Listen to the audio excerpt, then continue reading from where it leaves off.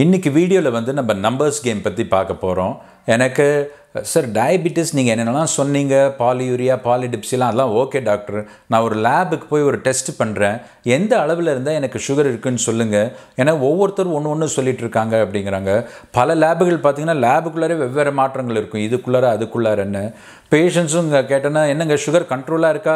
சாமி ரொம்ப நல்ல கண்ட்ரோலில் இருக்குது ஒரு முந்நூறு சுச்சம் இருக்கும்பாங்க. யாருக்கும் நார்மல் என்னன்னு தெரியல முதல்ல. எனக்கு எங்கள் ப்ரொஃபஸர் சொல்லிட்டே இருப்பார். முதல்ல நார்மல் என்னன்னு தெரிஞ்சால் தான் அப்நார்மல் என்னன்னு தெரிஞ்சுக்க முடியும். ஸோ இன்றைக்கி இந்த நம்பர்ஸ் கேம் ரொம்ப ரொம்ப முக்கியம். இதை ஒரு பேப்பர் பேன் எடுத்து நோட் பண்ணிக்கோங்க நீங்கள் சக்கரை நோயே அல்ல. உங்களுக்கு டயபிட்டிஸே கிடையாது. கம்ப்ளீட்லி நார்மல்னா மூன்று பேராமீட்டர்ஸ் நம்ம பார்க்கணும். ஒன்று வெறும் வயிற்றில் எடுக்கும் சர்க்கரை அளவு. காலைல ஃபாஸ்டிங் பிளட் குளுக்கோஸ்னு சொல்லுவோம். இந்த குறியீடு வந்து நூறு மில்லிகிராம் பெர் டெசிலிட்டர் கீழே இருக்கணும். அண்ட் இரண்டு மணி நேரம் உணவுக்கு அப்புறம் நூற்றி நாற்பது மில்லிகிராம் பெர் டெசிலிட்டர் கீழே இருக்கணும். அண்ட் ரொம்ப முக்கியமான test H B A one C ஆச்சரியமாக இருக்கும். இருபது வருஷம் சுகர் இருக்கும். இந்த த்ரீ மந்த் ஆவரேஜ் டெஸ்ட்னால் என்னன்னு கூட தெரியாமல் நிறைய பேஷண்ட்ஸ் இருக்காங்க. அதனால் இது ஒரு முக்கியமான டெஸ்ட் இதை தெரிஞ்சு வச்சுக்கோங்க.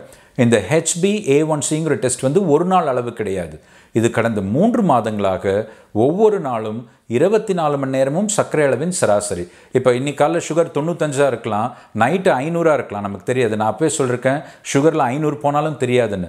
ஸோ இப்போ இன்றைக்கி இந்த டெஸ்ட்டு நீங்கள் பண்ணிங்கன்னா கடந்த மூன்று மாதங்களாக ஒவ்வொரு நாளும் இருபத்தி நாலு மணி நேரமும் ஆவரேஜாக எப்படி இருக்குன்னு காட்டுற டெஸ்ட் ஸோ இது மோர் ரொபஸ்ட் டெஸ்ட் இது compared to single day sugar இது அஞ்சு புள்ளி ஏழு சதவீதத்துக்கு கீழே இருக்கணும். ஸோ ஞாபகம் வச்சுக்கிறீங்களா இதை?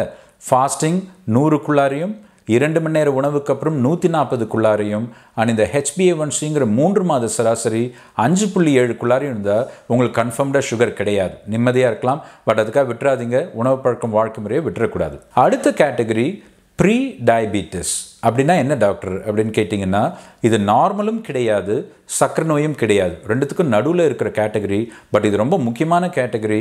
எனக்கு இந்தியாவில் இந்த பார்டர் லைனில் இருக்கிறவங்க வந்து சக்கரை நோயாக கன்வெர்ட் ஆகும் வாய்ப்பு மிக மிக அதிகம் உலகத்துலேயே மற்ற எந்த ரேஸை கம்பேர் பண்ணும்பொழுதும் இந்தியர்களாக பிறந்தால் இந்த ப்ரீ டயபிட்டிஸ்லேருந்து சக்கரை நோய் சர்ன்னு மாறதுக்கான வாய்ப்பு ரொம்ப அதிகம்.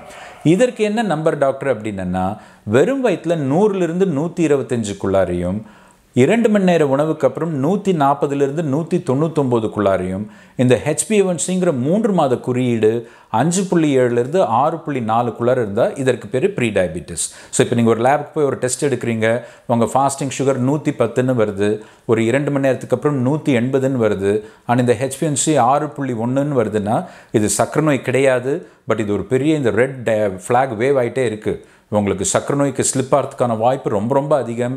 கொஞ்சம் தீவிரமாக உணவு பழக்கம் வாழ்க்கை முறையை நீங்கள் ஆரம்பிக்கணும் என்ற அர்த்தம்.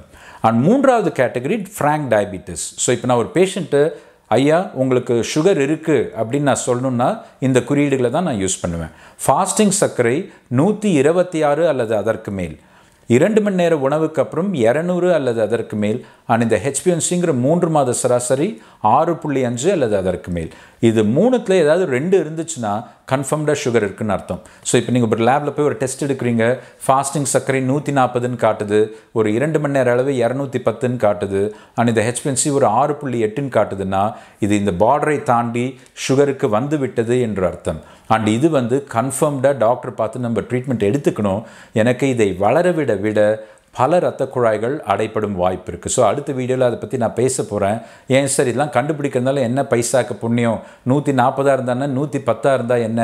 இதற்கு ஒரு பெரிய வித்தியாசம் இருக்குது எனக்கு பல ரத்த குழாய்கள் பாதிக்கப்படும். ஸோ இந்த மெசேஜை எல்லாருக்கும் பரப்புங்க. மூணு நம்பர்ஸ் நூற்றி இருபத்தி ஆறு அல்லது அதற்கு மேல் இரநூறு அல்லது அதற்கு மேல் அண்ட் இந்த three month average six point five அல்லது அதற்கு மேல். இது இருந்தால் கண்டிப்பாக உங்கள் மருத்துவரை நீங்கள் பார்க்க வேண்டும். இந்த பொழுதும் உங்களுக்கு ரொம்ப நல்ல பொழுதாக போகுமாறு அந்த எல்லாம் வல்ல இறைவனை வேண்டிக் கொண்டு உங்களிடமிருந்து விடைபெறுவது உங்கள் டாக்டர் கிருஷ்ணன் சுவாமிநாதன்.